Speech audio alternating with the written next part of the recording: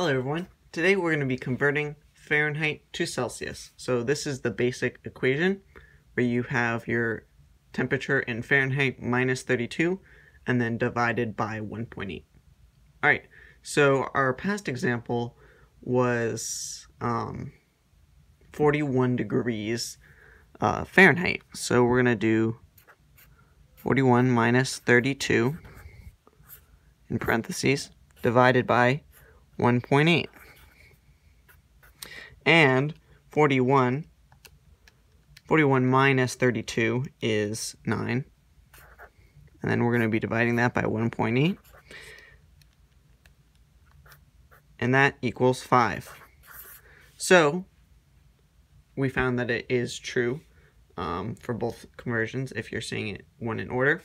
Um, very basic, uh, very simple, very easy. I'll just rewrite this again for you. So, temperature in Celsius is equivalent to T my TF minus 32, and then all of that divided by 1.8. I hope you enjoyed and learned something, and uh, have a nice day. Thank you. Bye-bye.